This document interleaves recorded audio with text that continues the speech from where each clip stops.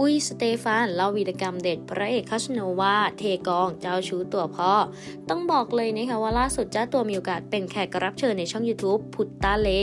พบกับสเตฟานค่ะ ซึ่งต้องบอกเลยนะคะว่าก่อนหน้าเองนั้นเป็นที่พูดถึงพระเอกร่วมวงโดยทางด้านของสเตฟานเล่าว่าจะมีคนหนึ่งนะ ที่เป็นเดอะเบสเลยในเรื่องนี้ก็คือแบบเททุกอย่างที่สุด แต่เราก็ไม่ต้องบอกชื่อนะ มีอยู่ครั้งหนึ่งถ้าละครไปถ่ายที่เชียงใหม่คนนี้ไม่ต้องมาเขาก็ต้องยกกอง ยกกองก็คือเสียเงินประมาณ 2 0 0แสนเลยนะเขาอยู่กรุงเทพต้องส่งคนไปรับวันหนึ่งพอวันที่ 3 เปิดรถปุ๊บเป็นเพื่อนเมาอยู่ในรถไม่ใช่ตัวเขา ผมไม่เคยเจอ แต่ผมเนี่ยเคยขับรถไปพัทยามีอยู่ครั้งหนึ่งเขาโทรมาหาแล้วบอกไอ้ฟานมึงมาพัทยาไม่บอกกูเลย ผมคิดในใจกูเคยเจอปะวะเขาก็บอกว่ามาหากูเลยอยู่ร้านนี้ แล้วเราก็ไปหาเขาแล้วก็พาผมไปเที่ยว พอเจอผู้หญิงสวยๆเขาก็ทำเป็นแบบเต้นๆแล้วก็เอานามบัตรให้ผู้หญิง แล้วมีงานหนึ่งผู้ชายกับผู้หญิงเนี่ยเขากำลังเต้นอยู่ด้วยกันคนนี้ก็ไปแทรกกลางเบียดผู้หญิงเลยนะ เขาก็หยิบนามบัตรให้ผู้ชายบอกให้เมียมึงโทรหาด้วยนะ แหม่งหันนี้ต้องบอกว่าเป็นอีกหนึ่งเรื่องราวที่